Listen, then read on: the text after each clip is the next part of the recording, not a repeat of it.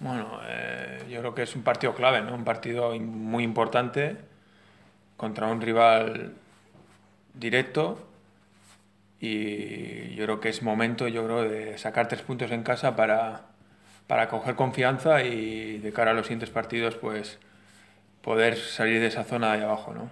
Bueno, yo veo al equipo con ganas, ¿no? Con ganas de, de demostrar que queremos estar en primera división, con ganas de contagiar a la gente que viene a apoyarnos cada partido y yo creo que tenemos que demostrar eso desde el primer minuto mañana, ¿no?